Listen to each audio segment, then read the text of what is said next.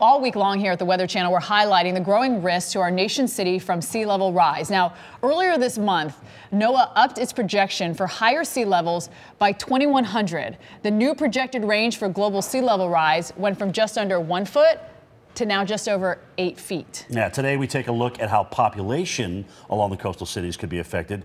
Uh, it could mean disaster for people who live along Louisiana's southern coast. With the threat of rising water and more frequent flooding, the state's Coastal Protection and Restoration Authority have drafted a plan to elevate homes or to buy out residents in 32 areas across the state. Now, under the proposed plan, people who live in Slidell, a city that was hit hard by Hurricanes Isaac and Katrina, would be eligible for elevation grants. All right, let's turn up our attention to another city here uh, in Miami, for example, where the population has exploded over mm -hmm. the past three decades and continues to explode. Right. Urban flooding uh, is, uh, look at the urban flooding growth from Google Earth and NASA. Since 1984, you can see how rural areas have disappeared.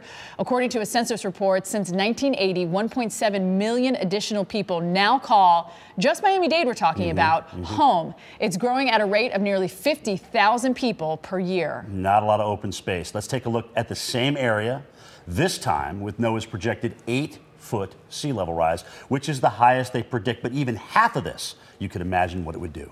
All right. Now, right now, we want to talk with someone in Miami Dade about the uh, dire projection.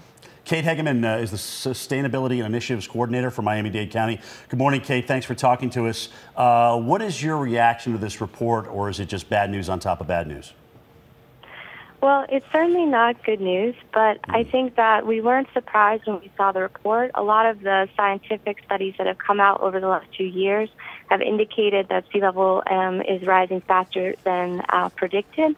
A lot of the melting and the polar um, and the large ice sheets has been faster than predicted as well.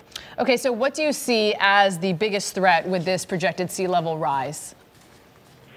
I think that the most extreme scenarios would obviously be quite um, quite an issue for us in Miami. One of the most important things is the rate we see sea level.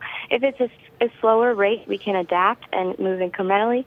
Those higher rates are going to pose a real challenge um, to our infrastructure, to um, to our long range planning.